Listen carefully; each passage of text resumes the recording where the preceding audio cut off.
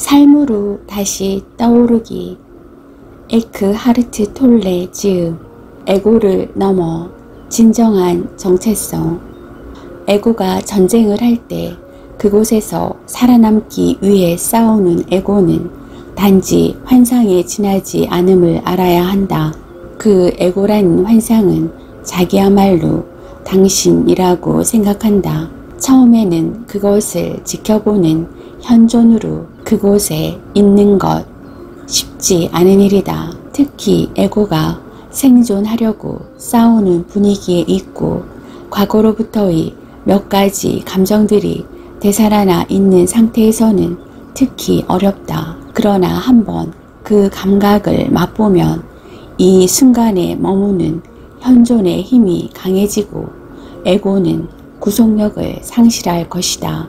에고와 마음보다도 훨씬 큰 힘이 당신 삶에 생겨난다. 에고로부터 자유로워지기 위해 필요한 것은 에고를 알아차리는 것 뿐이다.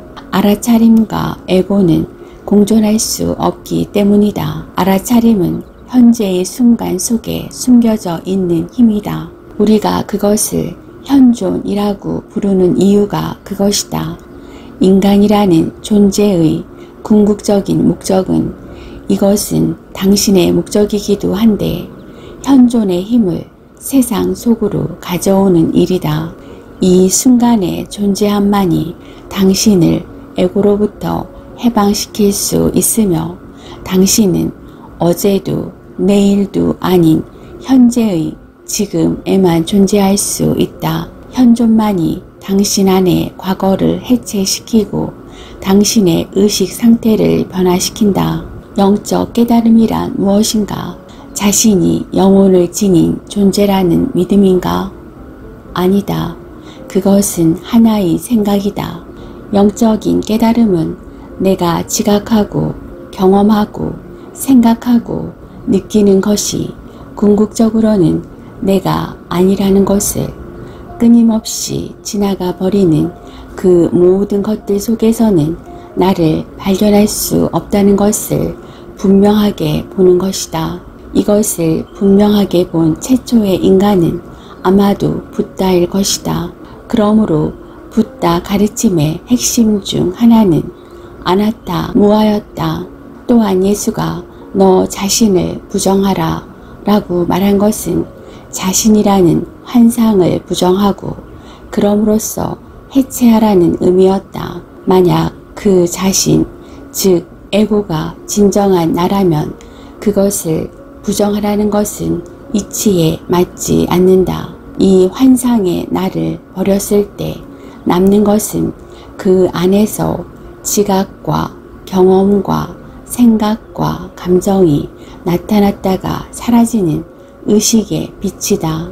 그것이 바로 더 깊은 곳에 있는 나, 진정한 나, 순수한 있음이다.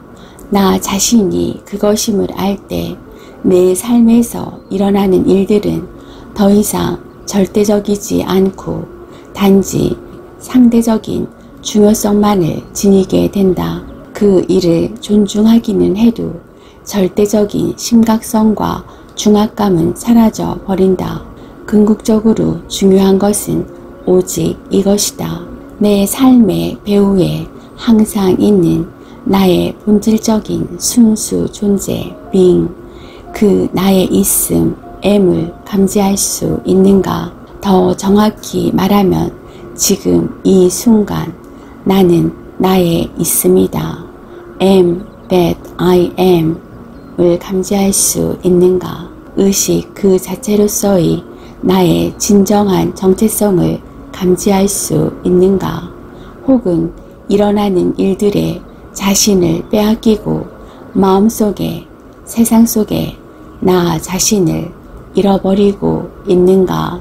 어떤 형태를 취하든 에고의 깊은 곳에는 자기가 생각하는 자신의 이미지, 그 환영의 자아를 강화하려는 강한 무의식적 충동이 있다. 그 자기 이미지, 환영의 자아는 생각이 지배권을 쥐고서 순수 존재, 원천, 신과 연결되는 단순하지만 심오한 기쁨을 흐르게 만들기 시작할 때 나타난다. 생각은 커다란 축복인 동시에 큰 저주이다. 어떤 행동으로 나타나든 에고의 숨은 동기는 언제나 같다. 눈에 띄고 싶고 특별해지고 싶고 지배하고 싶고 힘을 갖고 싶고 관심받고 싶고 더 많이 원하는 것이다. 그리고 당연히 자신은 남들과 별개라는 느낌을 갖고 싶어 한다. 대립하는 상대방, 적이 필요하다. 에고는 언제나 다른 사람이나 상황으로부터 무엇인가를 원한다. 언제나 숨겨진 안건을 가지고 있다.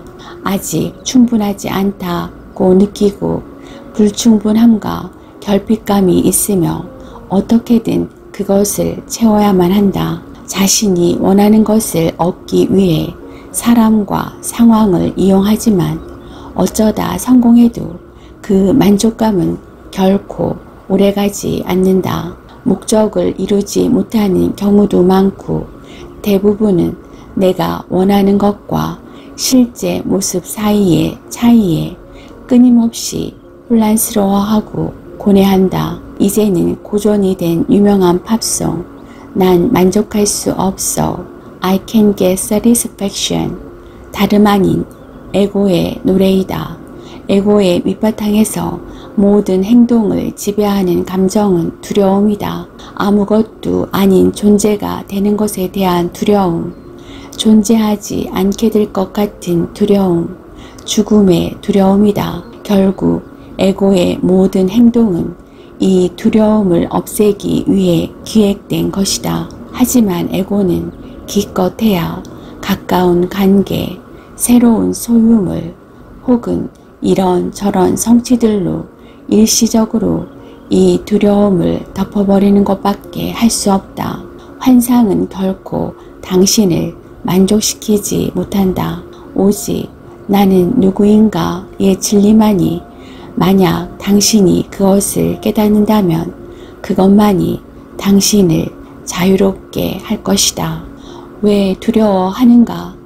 왜냐하면 에고는 형상과의 동일화에 의해 일어나지만 깊은 바닥에서는 어떤 형상도 영원하지 않고 모두 덧없다는 사실을 알기 때문이다.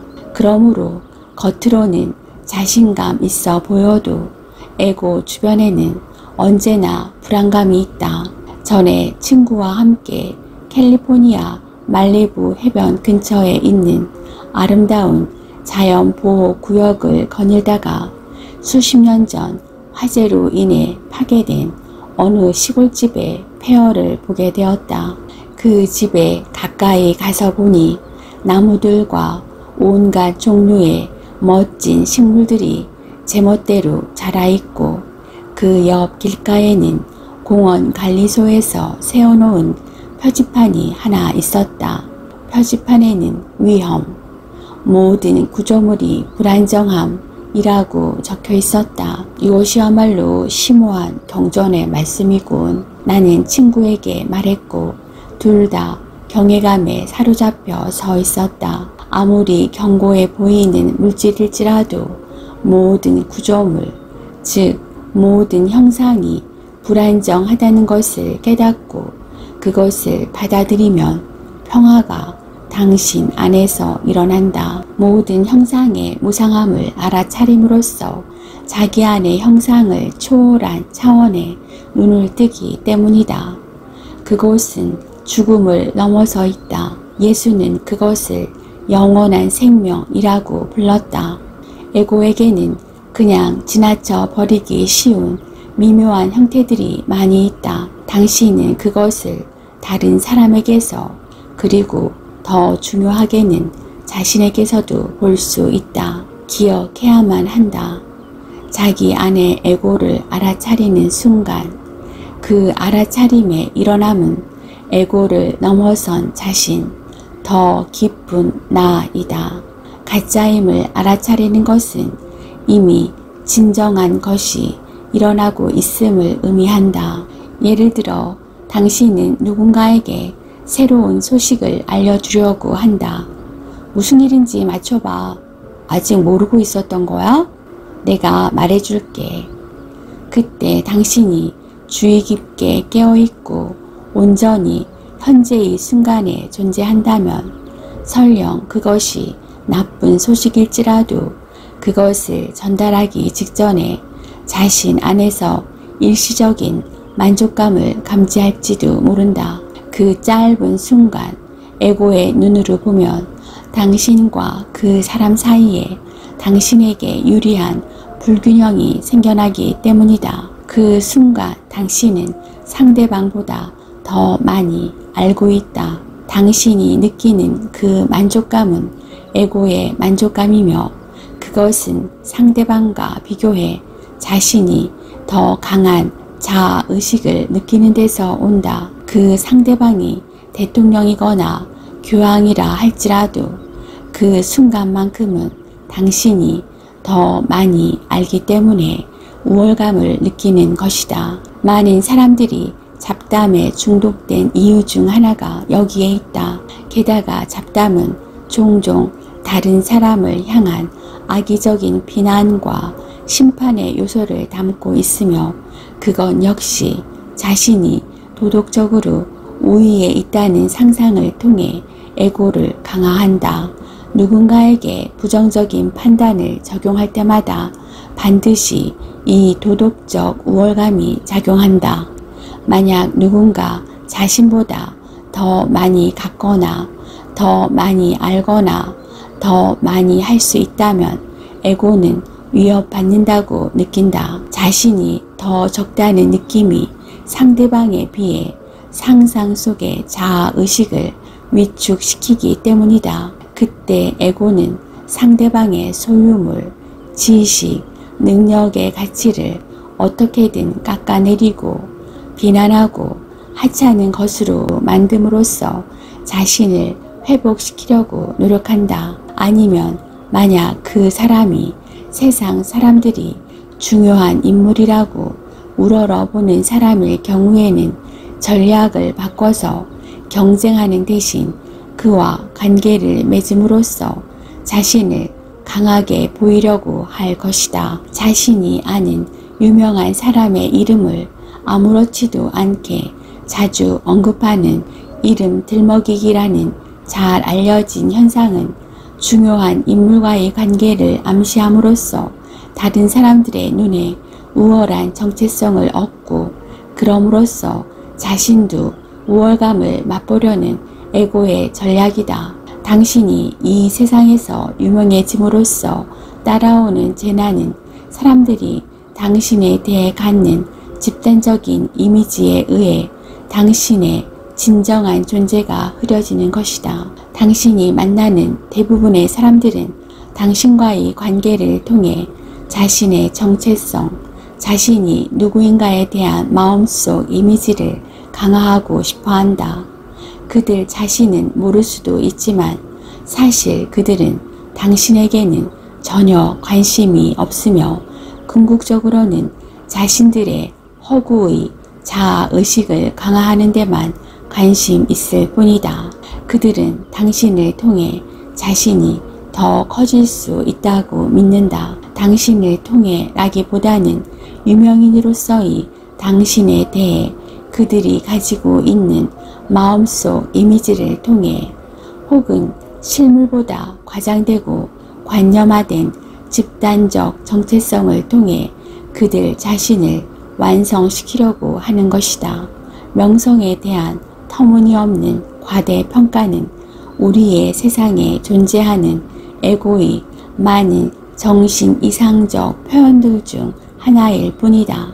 유명인들 중에는 스스로가 똑같은 실수에 빠져 사람들과 대중 매체가 그들에 대해 만들어 놓은 이미지인 집단적 허구와 동일화되어 실제로 자신을 다른 사람들보다 우월한 존재로 보는 사람도 있다. 그 결과 그들은 그들 자신과 사람들로부터 점점 멀어져서 점점 불행해지며 점점 더 자신의 인기를 유지하는 데에만 의존한다.